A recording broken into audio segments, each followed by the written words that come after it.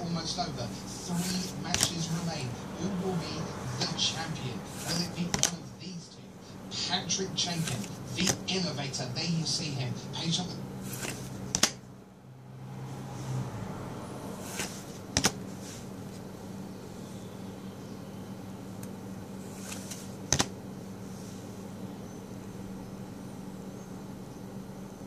waiting to begin his semi-final campaign against this man, Josh Utter-Leyton, from the Channel Fireball Uber team of Doom. Who is going to get it done? Brian David.